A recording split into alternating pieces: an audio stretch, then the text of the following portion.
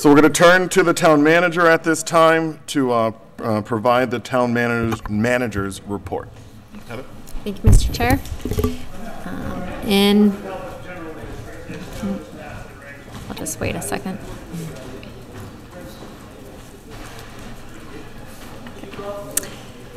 In meetings, events, and other announcements, the town beach hours are Saturdays and Sundays, 12 PM to 6 PM, and Monday through Friday, 10 AM to 7 PM. And the town beach will close Labor Day weekend. The farmer's market is every Sunday from 10 a.m. until 1 p.m. until mid-October, and that's on the Ritter lawn. For board and committee commission vacancies, the following is a list of vacancies. One vacancy on the Architectural Preservation District Commission, two vacancies until the next annual town election on the Board of Assessors, one vacancy until, until the next annual town election for the Cemetery Commission, two vacancies on the Finance Committee, one regular member and one associate vacancy for the Green Communities Committee, one member at large vacancy for the Open Space Committee. We just received a resignation from um, Pat Hackey uh, for the Park Commission, and so that vacancy would be until the next annual town election, and one vacancy for the Personnel Committee. Anyone interested in any of these positions can find the volunteer application on the town website, complete it and return it to the select board's office. And if you have any questions on any, any of these positions, you can contact our office at 978-582-4130, extension 144. Who resigned from the Parks Commission? Pat uh, Hickey, Ha- yeah. Oh, okay. Sorry. Thank you. Welcome. For employment opportunities with the town, the following are the current positions open. The assistant to the sewer business manager, which is a 19 hours a week position. Assistant to the town accountant, which is 32 hours a week. Assistant meal site manager, 19 and a half hours a week. Conservation administrator, 36 hours a week. Finance director, 40 hours a week. Heavy equipment operator, 40 hours a week. Principal assessor, 40 hours a week. Two seasonal cemetery laborers, and one uh, videographer position for, which is approximately two to 10 hours a week on average. Any interest in these positions, you can find the job postings on the town web- website as well, and how to apply. An update on invitation for bids and requests for proposals. The invitation for bids for the operations and maintenance of the Lunenburg wastewater collection system were due on August 2nd, and we received one bid from the company who currently has the contract, Chad T. Empey LLC, and that contract has been awarded to this company.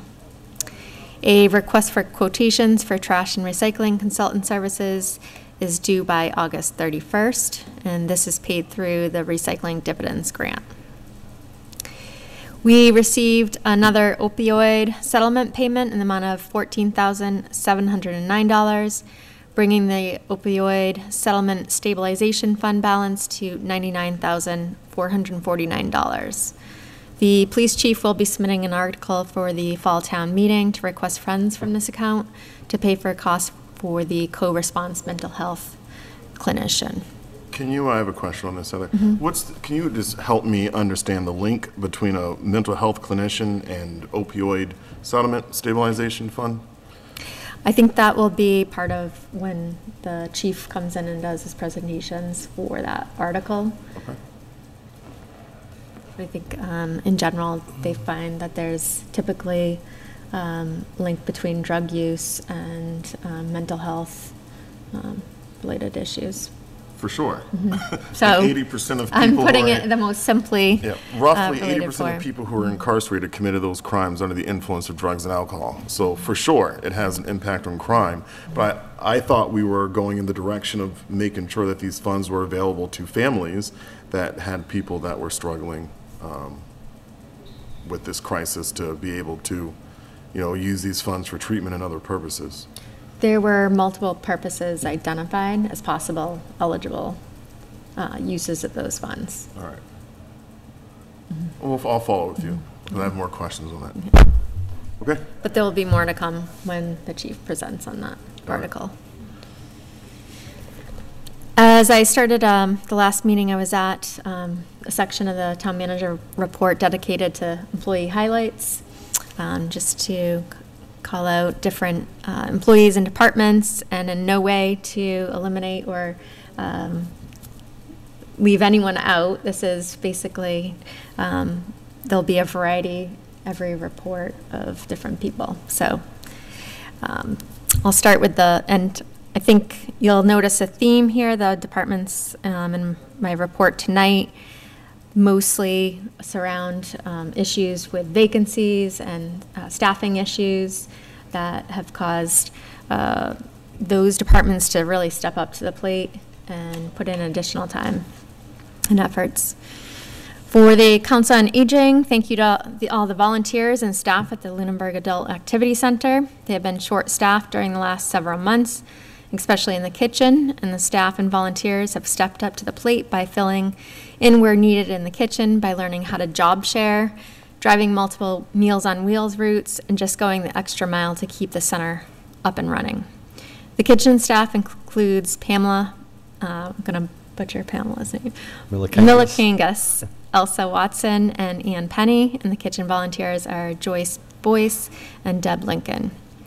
The Council on Aging van drivers are always ready for a challenge. Currently, MART is using Lunenburg as a test site for new driver software, but our drivers always manage to get passengers to their destination, destinations safely. The van drivers are Dave Gallagher, Kimberly Moore, and Michelle Bovo. Special thanks to Jim McGuigan, who, although he has tried to retire as a driver, agreed to come back anytime as an on-call driver when needed. Thank you to all the Meals on Wheels drivers, which include Laura Busum, Cynthia Romano, Betty Orlo, Walter Orlo, Larry Latart, Robin Roach, Trisha Arsenal, Bob Hamill, Elise Schofield, Robin Silmy, Luann Longnecker, Carol McShane, Robin Roach, and Melody Nielsen.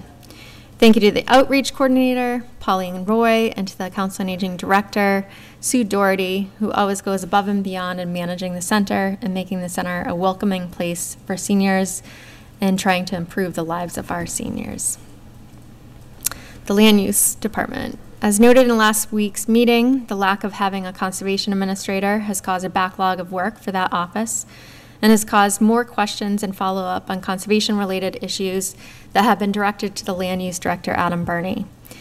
Thank you to Adam for trying to field the questions that have been directed your way due to the absence of the Conservation Administrator and working with the Assistant Town Manager on interviewing any applicants with relevant experience. The Treasurer Collector's Office.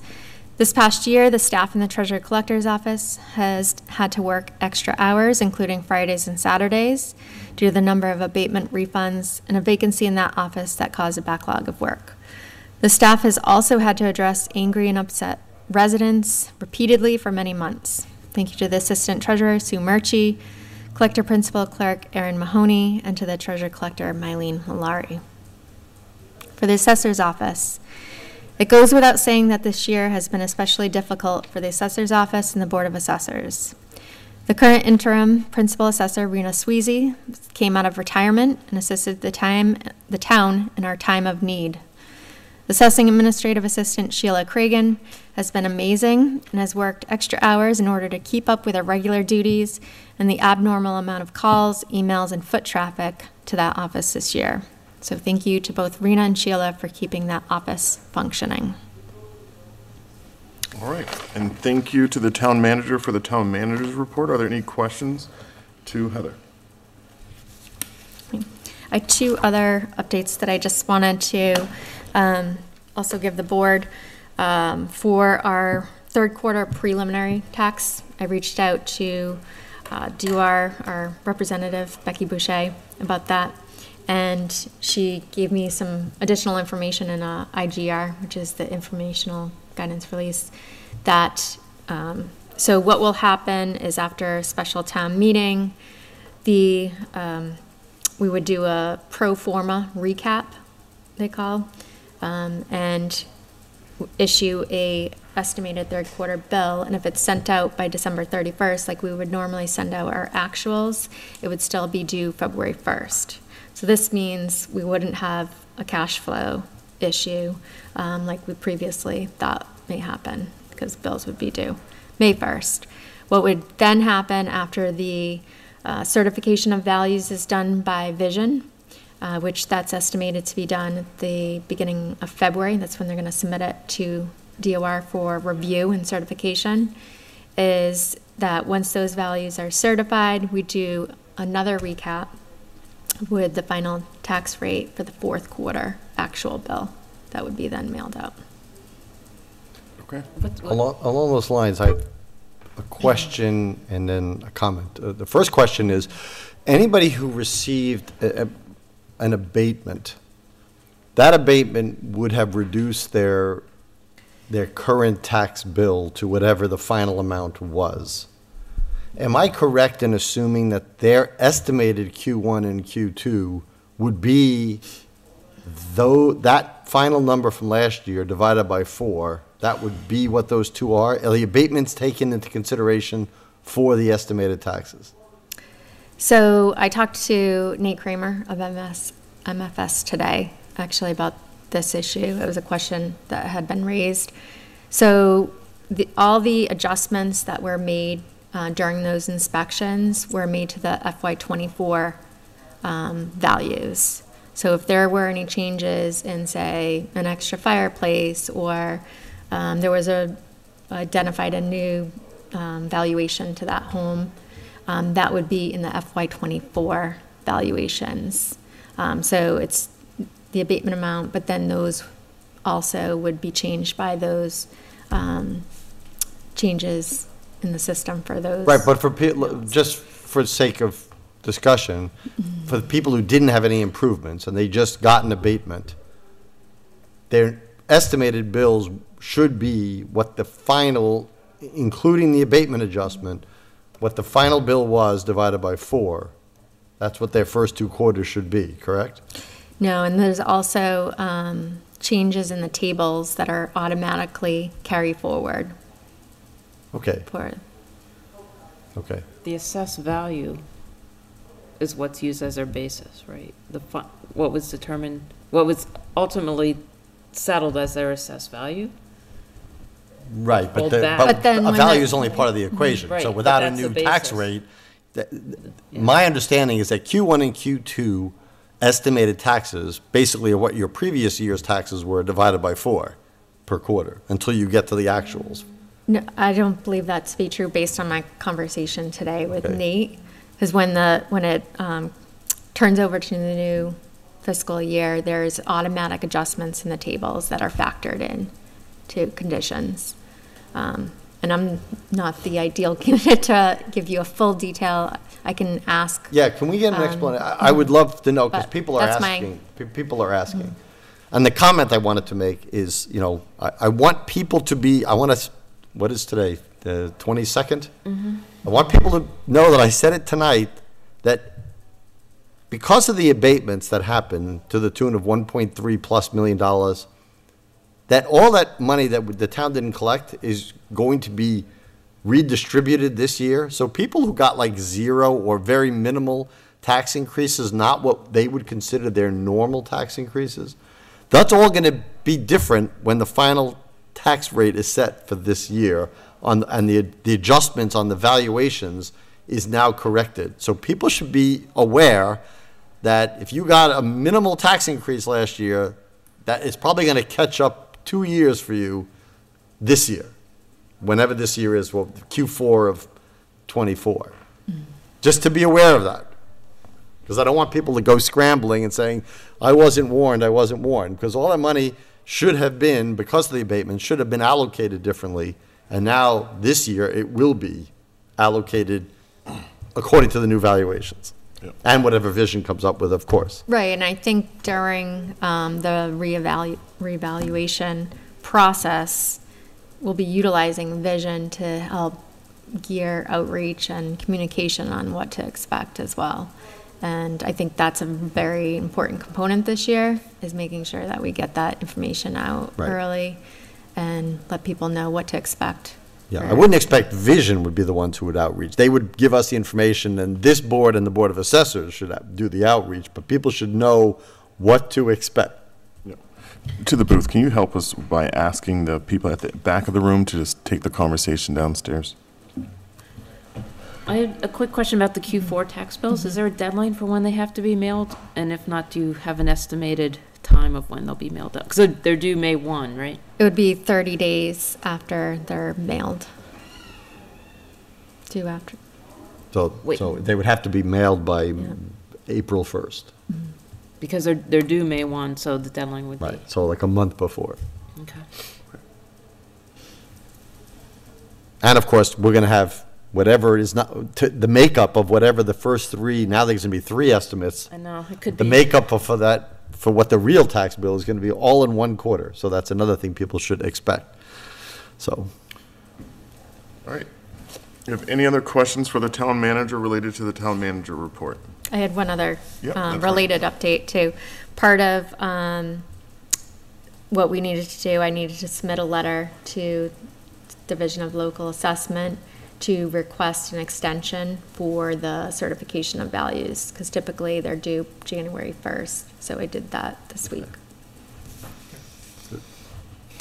And next meeting, um, the board will need to vote on a letter for sending out preliminary third quarter estimated taxes. The assessors already did that, but the IGR identified it's also an action taken by the select board. Okay. All right, any questions for the town manager? All right,